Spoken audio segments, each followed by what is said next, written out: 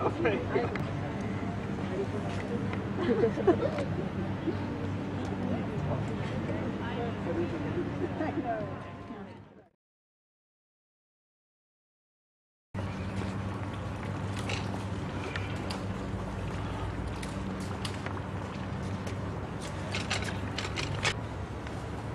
You can see that in the garden if we have almonds and salvias. Uh, this is the fall setting for the Jacqueline Kennedy Garden.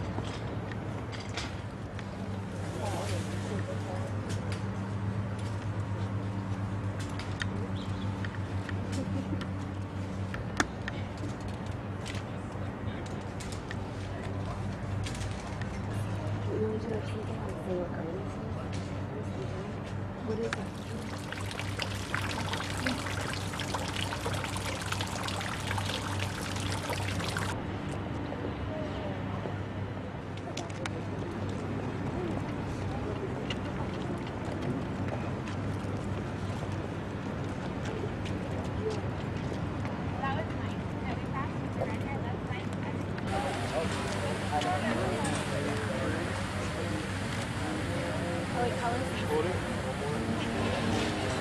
And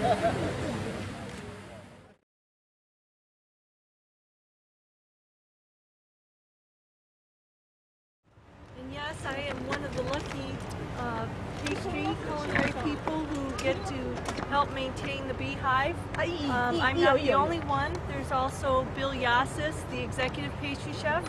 Uh, Bill and I, together with Charlie Brandts, um, who is the carpenter who was working here and retired and now comes back and consults with us and also helps to uh, guide us along and help to maintain the beehive. Uh, Charlie Brandts um, worked along with Mrs. Obama and Sam Kass and the administration to help bring this amazing beehive to the White House South grounds. Um, Charlie comes when he can on a weekly basis almost. And uh, along with Charlie and Bill and I, we come here and we check the beehive. Uh, we do have our uh, beehive suits that we wear uh, for protective uh, covering. Uh, but our bees here are very calm and luckily I can say I've not known of anyone getting stung from the bees here. Uh, this year we've uh, harvested uh, about 175 pounds of honey.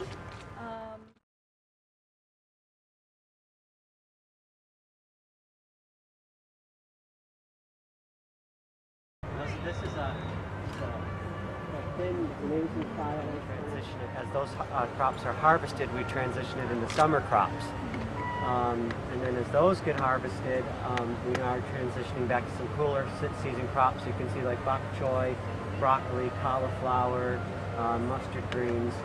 In and amongst the, the last of the summer crops like the tomatoes, the peppers, the eggplants, um, there's still some squash in the back and beans.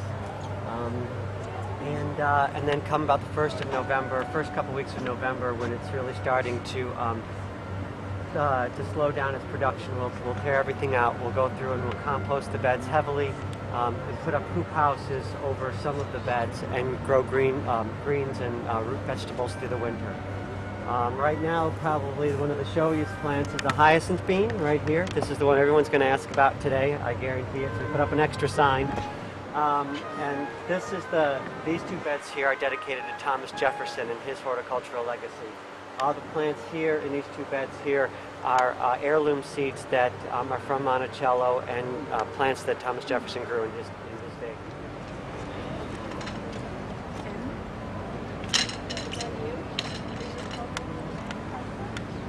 I, I, I, I just have the idea.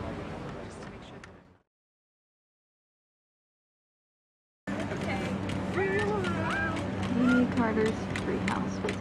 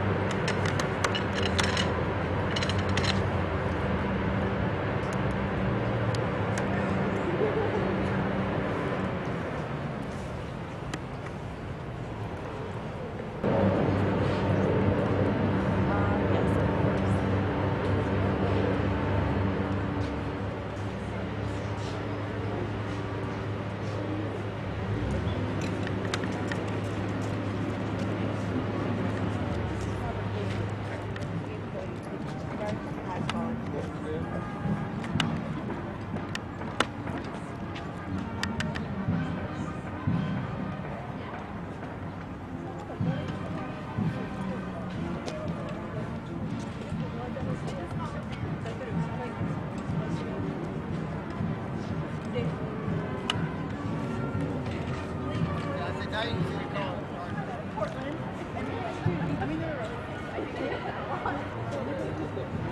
そうそうだから、ね、私はここに行った方がいいかなと思った先にこっちを得る